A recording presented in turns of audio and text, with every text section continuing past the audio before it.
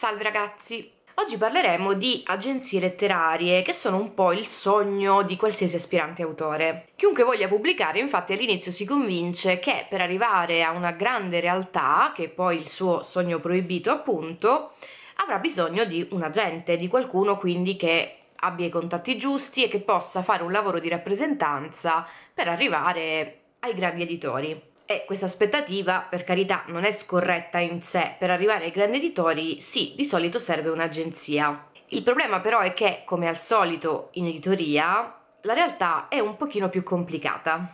E visto che noi siamo dei bravi autori consapevoli, adesso la capiremo meglio. Dunque, dovete sapere che oggi come oggi la realtà delle agenzie letterarie, in Italia in particolare, è un po' strana avrete già sentito dire che è normale che vi chiedano di pagare per una valutazione all'inizio e che fanno tutti così, devono fare così, all'estero fanno così sempre. Bene, sappiate che questo non è vero, cioè all'estero in genere un'agenzia letteraria che chiede dei soldi a qualsiasi titolo all'autore viene guardata con molto sospetto. C'è chi lo fa, c'è chi non lo fa, come è in Italia per ora, non a lungo secondo me.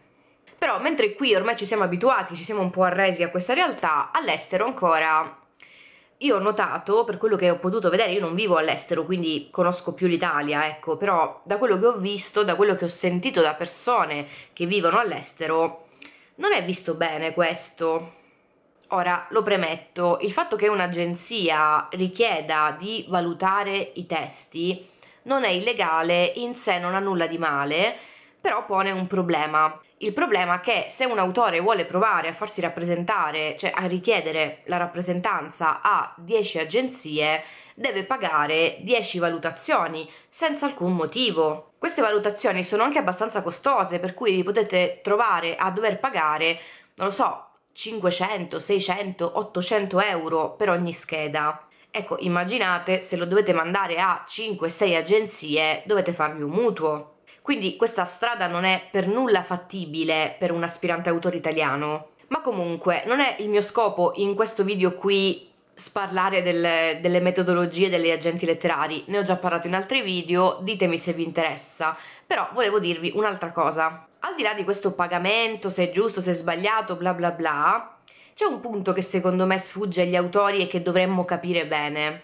cioè oggi come oggi in Italia guadagnare con i libri è difficile e su questo penso che siamo tutti d'accordo. L'agenzia nasce in realtà per aiutare, per guidare degli autori già eh, consapevoli, nel senso che hanno già dei mezzi per guadagnare denaro, quindi che hanno già delle pubblicazioni di successo alle spalle, che sono dei personaggi, che possono diventarlo facilmente. Cioè, diciamo che l'idea ufficiale di agente letterario è più quella di chi si avvicina a un personaggio già famoso e gli dice cavolo hai mai pensato di scrivere un libro? In quel caso il lavoro della gente non è tanto quello di convincere un editore a pubblicare quel tipo lì, perché quel tipo lì ha già tutto il potenziale, dunque basterà presentarlo all'editore giusto e probabilmente avrà un contratto. Ma allora cosa, cosa farà questo agente? A cosa servirà? Beh, si occuperà di verificare che questo personaggio ottenga delle condizioni positive per lui, che quindi guadagni il più possibile, che gli accordi nel contratto siano vantaggiosi per lui. E poi magari darà una mano, visto che non necessariamente un autore ha idea di come funzioni l'editoria, a trovare la collocazione migliore, migliore per raggiungere il proprio target, tutte queste cose qua. E magari guiderà poi anche dopo la promozione, per esempio. Tutto questo lavoro è quello classico da agente letterario, che quindi becca il talento che finora nessuno ha mh, usato per fare dei soldi e lo fa, lo fa lavorando, è un lavoro di tutto rispetto e non è nemmeno facile comunque. Il problema è che invece le agenzie letterarie di oggi in Italia hanno iniziato ad aprirsi agli esordienti, o meglio a quelli che vorrebbero essere esordienti. Questo in sé è una cosa bellissima, cioè non è un problema, no? Perché noi tutti diciamo, beh, meno male, se no campo a cavallo, non ci arrivavo mai. Perfetto, è tutto bellissimo, però qual è il problema? È sempre il guadagno. Considerate che un'agenzia letteraria può guadagnare tra il 10 e il 15% dei guadagni dell'autore per un lavoro che a volte dura anni e anni e che è difficile Quindi, se io sono un esordiente e mettiamo il miglior caso possibile, mi pubblica Mondadori che dà ancora, anche questo non so per quanto, degli anticipi agli autori che di solito se sono degli autori piccolini guadagnano l'anticipo e basta, diciamo. Ecco, mettiamo che Mondadori mi dia 3.000 euro, che è già un risultato il migliore che possiamo ottenere praticamente in Italia, no? Se io autore ho preso 3.000 euro, questo vuol dire che la mia agenzia prenderà il 10% o tra il 10 e il 15% di 3.000 euro, che capirete non è tantissimo. Cioè non ci camperà mai con questa cifra, no? Specialmente perché quanti cioè, quanti esordi con Mondadori vuoi fare nel giro di un anno? Come speri di campare materialmente? Se poi hai pure dei dipendenti, come speri di farcela mai così? Cioè, è proprio impossibile. E questo senza contare che possono passare dieci anni senza che tu arrivi minimamente vicino a Mondadori, eh. Dunque, se nel miglior caso possibile faranno la fame, comunque, ecco, capite perché vi chiedono dei soldi. Questo perché ve lo siete mai chiesti? Cioè, vi siete mai chiesti, ma per quale motivo le agenzie pigliano gli esordienti se poi non ci guadagnano un tubo? Beh, io vi dico la mia opinione, che è una mia opinione, come sempre, no? Io ho notato che negli ultimi anni, appunto, c'è un fiorire di queste realtà. Ne ho già parlato in un altro video che magari vi, vi linko nelle schede o qualcosa del genere. Questo perché il numero degli aspiranti autori è talmente alto che si potrebbe benissimo campare solo sulle loro spalle, quindi di agenzie letterarie nuove veramente ne nascono come funghi. Il problema però è che mai nella vita tutte queste agenzie potranno rappresentare degli autori fighi, cioè degli autori già conosciuti, già affermati o che siano dei personaggi famosi che quindi portano guadagni sicuri. Dunque devono per forza aprirsi agli sfigati, cioè a noi nessuno, perché se non lo fanno non, non, non ce l'hanno autori e loro ne hanno bisogno, se no che agenzia sono? Dunque l'agenzia un po' così, che sta cercando di emergere e che, lo dico, può essere anche la più brava del mondo, eh, non è che per forza debba, debba fare schifo se viene aperta adesso, è costretta a guardare agli autori sconosciuti e dunque a crearsi un business che si basi su quello. E ripeto, questo è il motivo per cui fanno pagare per le valutazioni iniziali, perché se no campa cavallo, cioè se tu speri di beccare tutti gli autori sconosciuti che poi diventano king, muori di fame. Certo, questa è la speranza segreta di tutti gli agenti letterari in realtà, però non possono basarsi su questo, se no veramente mu muoiono di fame subito. Ora, tutto questo discorso perché ci interessa se siamo degli autori?